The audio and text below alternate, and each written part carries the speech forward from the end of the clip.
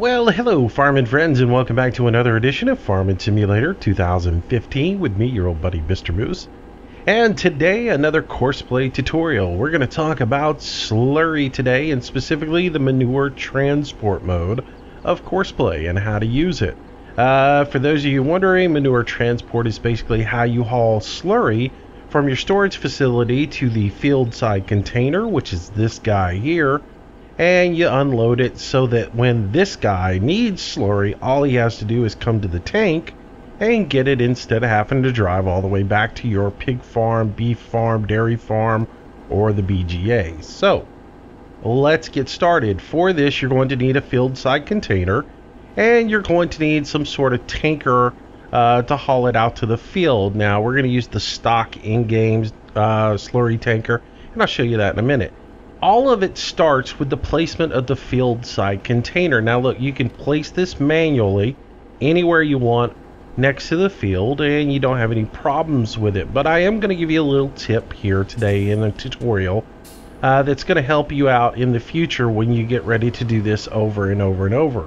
And that is set up a course in courseplay to actually set this in the same position time in and time out. If you don't, you're going to have an issue with trying to make sure it gets into the same spot for the courses that you've recorded for your slurry delivery and for your uh, uh, for your your slurry sprayer to refill. So it's very important. You'll find down the road that you place it in the same position each time. So to do that, we're going to bring up courseplay. We're just going to record a simple course. Start recording the course. And what we'll do is we'll just bring ourselves down here into the grassy area where we're going to be placing our field side container. Pull it up here and that looks about good right there. And we will tell this to come to a stop. And that's all we're going to do. We're going to save this and we're going to call it, uh, you know, slurry placement or field side container placement.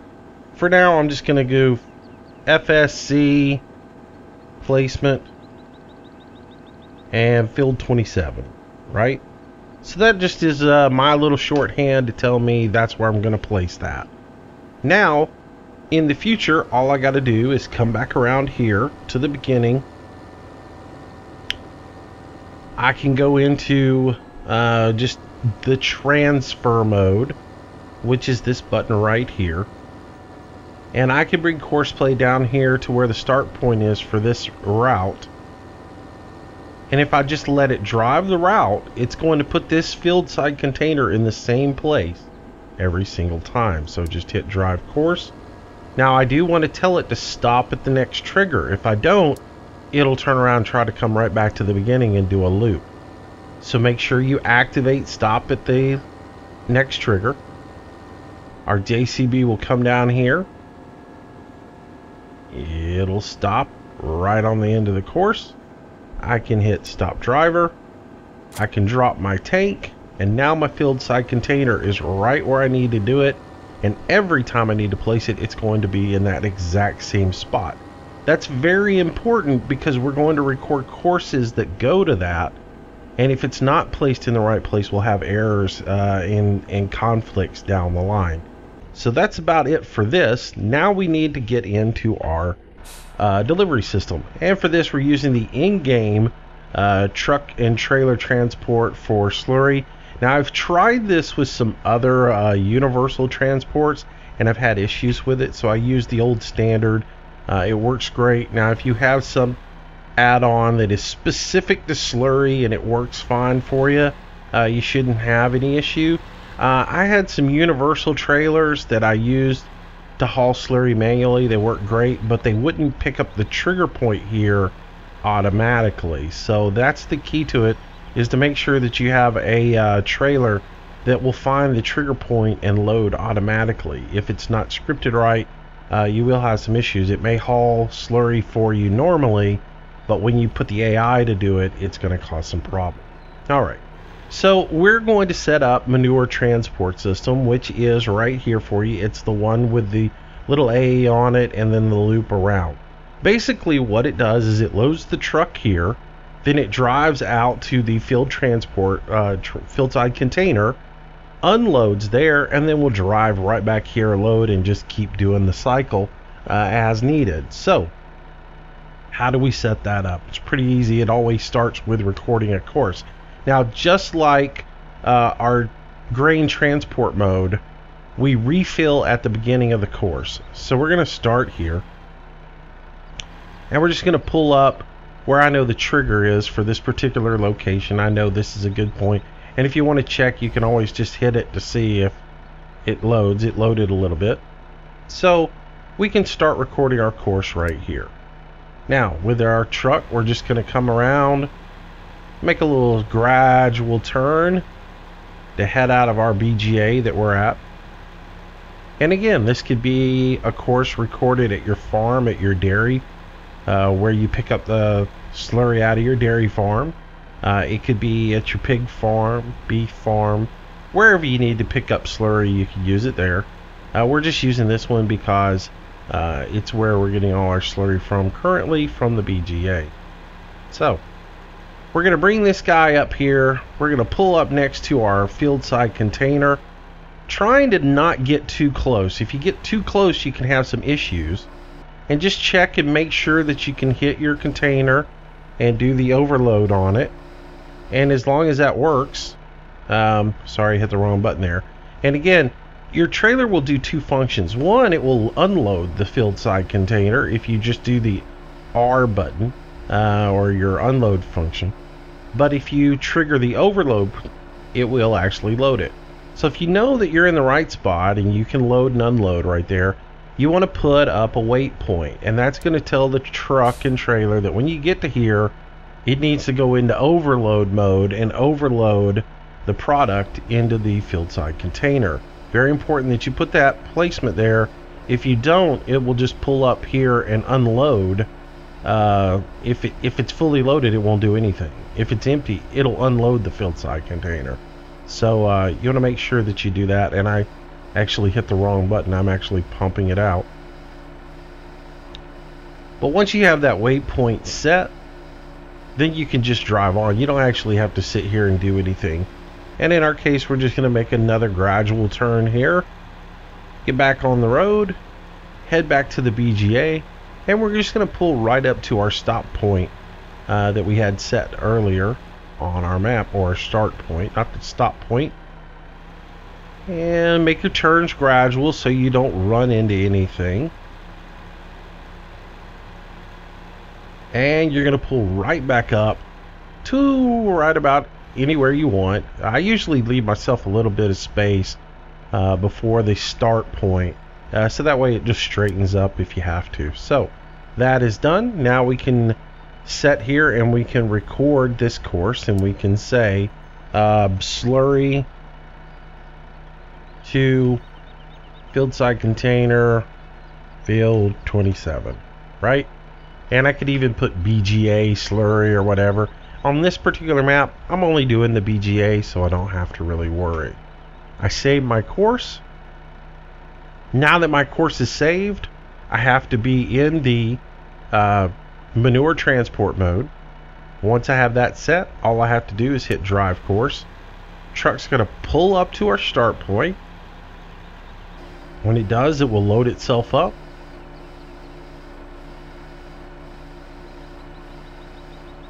Once it's completely loaded, it will drive the course.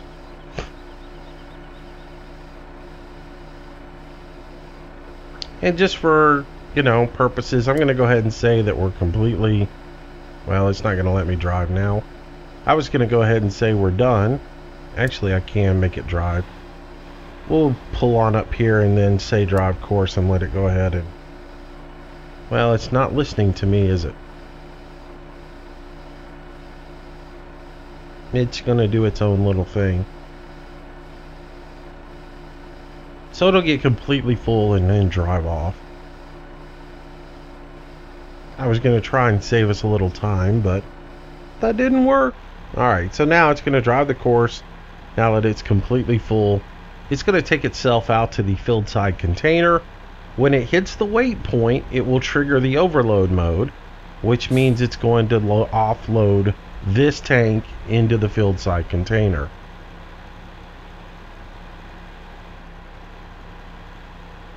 Overloading is anytime you take something from your container and put it into another one. Refilling is when you take it from a container and put it into yours. So in this case, we are going to overload into uh, the field side container. Alright, so our truck's going to come up. Remember, you want to record your course so they have a good little bit of distance between uh, your field side container and your and your uh, trailer. Otherwise, when you actually run it in course play, uh, it will think it's in traffic and it will stop itself before you get out there. So you make sure your approach is plenty wide so that the AI doesn't see it and, and think collision and stop on you. So again, it hits the pause, the waypoint, it's going to go ahead and offload or overload. And as you can see, our fill level is rising.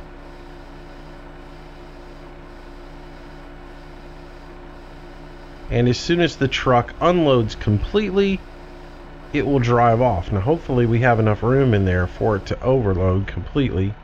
We do not. It is absolutely full, but we don't have any more room in there for it.